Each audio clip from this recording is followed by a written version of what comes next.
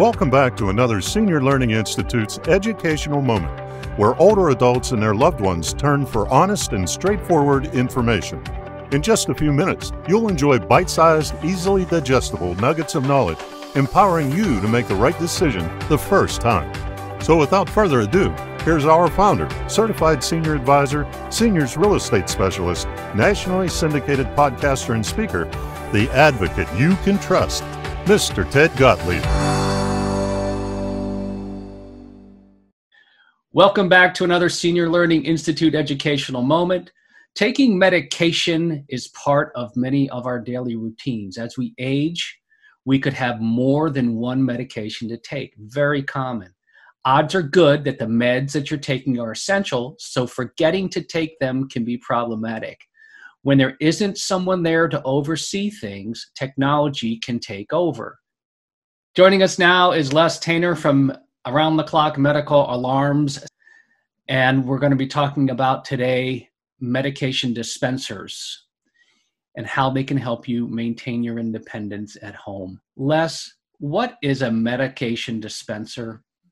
A medication dispenser is usually an electronic device, however, it could be battery powered, that's going to dispense medication at the proper times and also eliminate multiple doses because it will only dispense one dose at a time at the proper time. So it allows uh, a caregiver to load a device, such as the one that we have here, uh, with several days or perhaps weeks worth of medication, and it will alarm and dispense that medication for the person uh, up to four times a day. Right. So, who's going to benefit from this type of medication dispensing system? A, a, great number of seniors or people who take medication that really must be taken on a rigid schedule for it to be most effective. Uh, if they take blood pressure medication more than one time a day, or even one time a day, it's much more effective if taken at the proper time. But it could be even more so, such as with chemo uh, that's taken at home. Again, it should be very regimented as to when it should be taken and work so much better when it's taken on the proper schedule rather than, oh my gosh, four hours later, I've forgotten to take it, and then you take it, and the next dose is kind of squeezed together on the timeline. So, and you've got one of those medication dispensers in front of you, uh, along with some um, of the PERS systems. But let's focus on the medica, the medication dispensing system. How do they work? Well, the the one that I have in front of me here, ours, uh, it has a tray with 28 compartments to be loaded, um, and obviously they'll hold 11 or more uh, pills, depending on their size. Uh, the alarm here uh, can be set once, twice, three, or even four times per day. So, with the 28 trays, if the person only takes one dose a day, this tray properly loaded is going to be 28 days worth of medication here without having to touch it again. It's going to faithfully dispense at whatever time they set.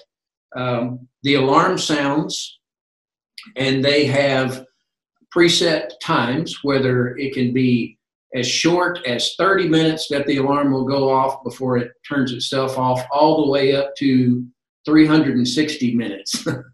um, it, it, alarms until the door is opened to retrieve the medication. So uh, it will only dispense, let, let's say a person has three doses per day. It will only dispense one dose at the proper time.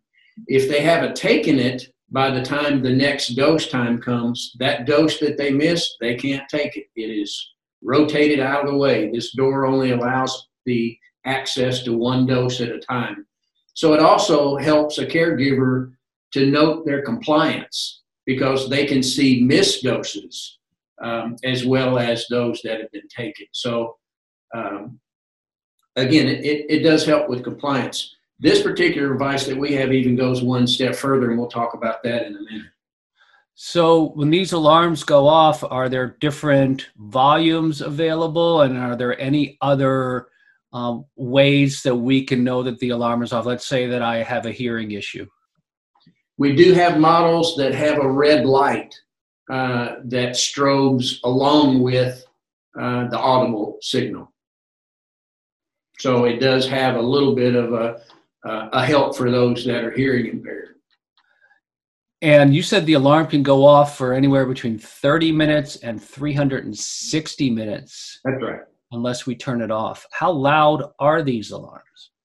Uh, loud enough that if you were definitely in one adjacent room, you would absolutely have no problem hearing in probably two adjacent rooms, as long as there are not closed doors between the device and, and the subscriber. Is my neighbor on the other side of the wall going to be banging on my wall telling me to take my meds? Probably not. Probably not. Uh, unless they are ex- have bat hearing, then they might. Uh, you know. Now you had mentioned that there are some other versions available, some upgraded versions. Tell us a little bit more about what some of the options are in regard to these good, better, best systems. Uh, uh again, uh, there can be lighted ones to assist with those that are hearing impaired. This one also can be chipped to work with our PERS device, meaning that if Mrs. Smith does not raise this door, turning the alarm off and take her dose within 30 minutes, the, the PERS device will contact our response center and they will call Mrs. Smith and say, Mrs. Smith, we see you haven't taken your three o'clock medication. And if she's compliant, and that'll end it. If Mrs. Smith does not answer her phone, then our response center will go right down their responder list that they've provided us names and phone numbers, call the daughter and say, not only did your mom not take her 3 p.m. dose, but she's also not answering the phone. Is she at home? Uh, do we need to uh, dispense a welfare check to make sure she's okay? Got it. And that you got me there. I mean, that's where I see the value. Um, in addition to making sure that you know I take my medications, if I know that mom or dad hasn't done it, um, that's huge to me. And that they're not responding, that's huge to me, especially if I'm living half a country away. So I, I, I see the value. Um, you got me sold at that point. Over half of the dispensers we have out in the field are chipped ones that that are monitored through the PERS device. I can see that. Now, I would think that there are a certain number of people who are more than capable of loading the tray itself, and there's some other folks who may need a little bit of help from that. So, uh, how do you handle that situation? Are we just hoping that there's a, a care provider or a loved one or a friend who's loading the tray? It, it's honestly better, Ted, if it is a caregiver because this is a key lock device. Uh, it's designed so that the end user can't tamper with it. Uh, it. It's designed to dispense the medication when it's supposed to be dispensed. Um, and, and it's honestly better. Uh, it's a good reminder, it, even if the caregiver uh, is not the one loading the trays, uh, even if it's the end user loading the trays hey Ted, I'm only 60, and and there are some mornings I can't remember if I've taken my medication or not, uh, and I depend on a, a, a different system than this, but I have to look and see if it's gone to remember right. if I've taken mine, and I'm I'm not 87, you know, uh, but but it's a great reminder. It's also can be great with compliance when it's coupled with the PERS because it, then it gets the family member or a caregiver involved with knowing they are not taking the medication, and that that can be really important. And again, with those really crucial uh, timed medications that really need to be taken on the proper schedule of work. Let me tell you a little factoid 67% of hospitalizations involving those 65 and older are primarily because they did not take their medications properly. 67%. And that's from the CDC. Wow. Okay. That's amazing statistic. All right, I'm sold. So I want to buy one. What do these systems cost?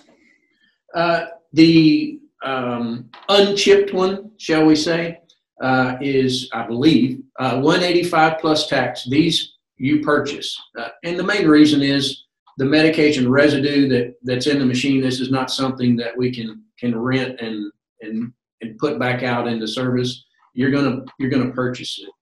Uh, the chipped version, which is going to have the chip in it to interact with the PERS device, is 225 plus tax.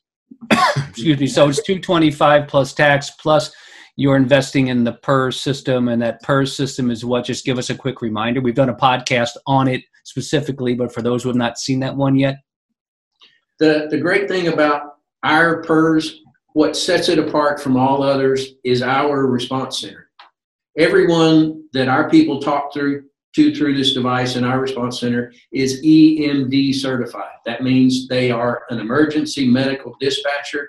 Essentially, that is the training of a 911 operator.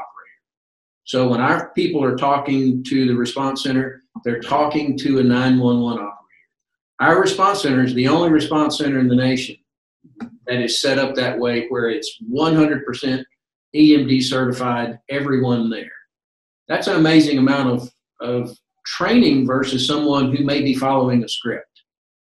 Got it. So, and again, these PERS systems, for those who have not seen the or seen or listened to the other podcast, these are the medical alert systems. I've fallen and I can't get up, but these Correct. are. Uh, our our wearable is probably the smallest in the industry.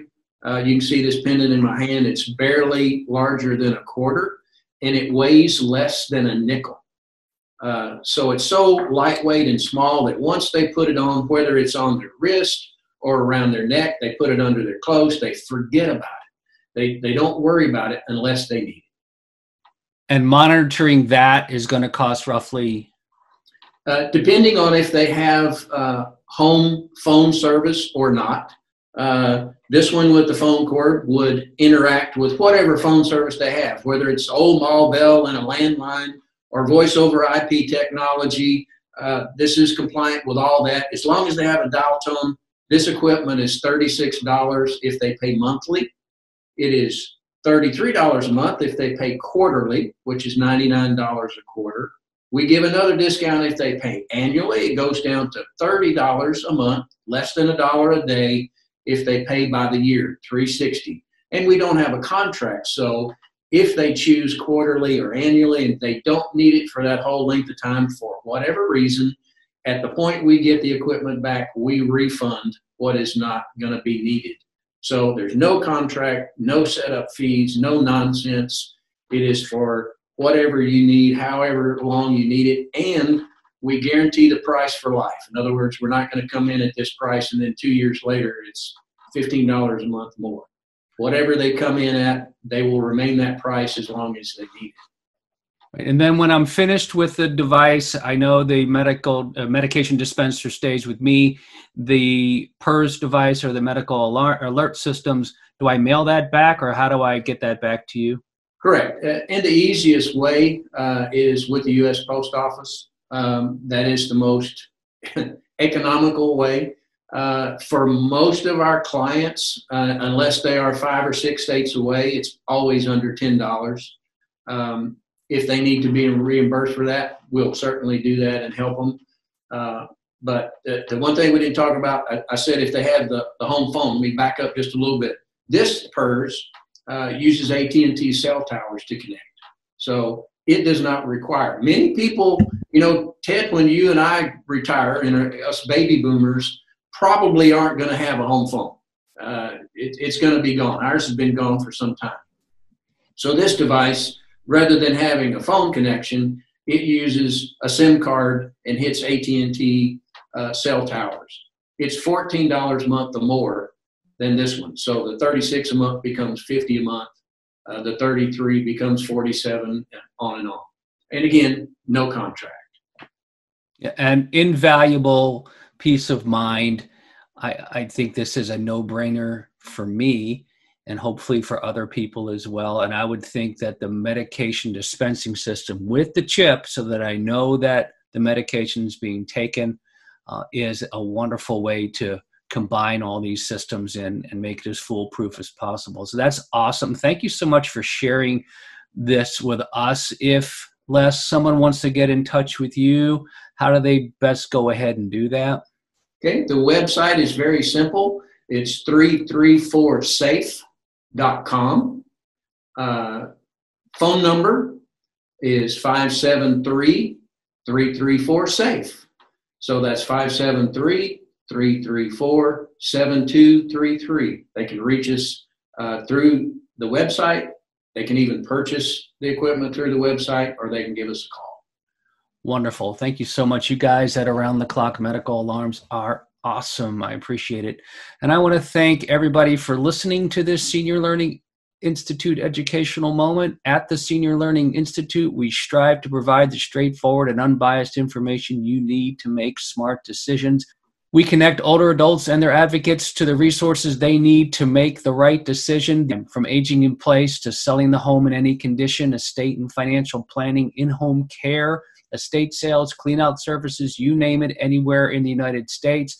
To learn more, please visit us at theseniorlearninginstitute.com. We're also on YouTube. Until next time, I'm Ted Gottlieb, Certified Senior Advisor, Seniors Real Estate Specialist, and founder of the Senior Learning Institute.